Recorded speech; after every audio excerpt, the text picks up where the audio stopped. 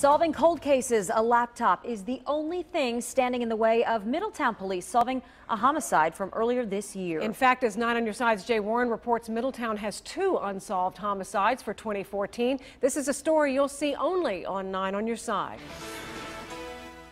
There are still more questions than answers in the April shooting death of 25 year old William Tyrone Sawyer. This is one that's frustrated us for a few months. Lieutenant Scott Reeve of the Middletown Police Department says Sawyer was found on the bike trail near 9th Avenue in the Great Miami River. We've actually put a, a lot of effort into this, but it's a secluded place.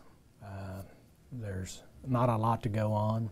Uh, we've heard rumors about what happened. And we're hoping someday to get some more information about uh, this case. The other case happened about a month earlier, the March 18th murder of Donald Miller here on Texas Avenue.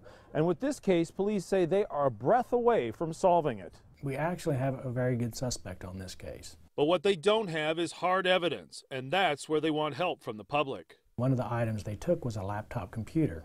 This is something we haven't talked about in the media but uh, so much time's gone along and, and we've investigated this case up as far as we can at this particular juncture. Uh, we think it's good to get it out there that a laptop was taken. Reeves says Miller's name was on the computer. If anybody bought a used laptop and they opened it up and saw Donald Miller's name on it, uh, they would know that that is a crucial piece of evidence that we would like to get our hands on. In fact, Middletown police say if they were able to recover the laptop, that would be enough to make an arrest in this case. Jay Warren, 9 on your side, Middletown.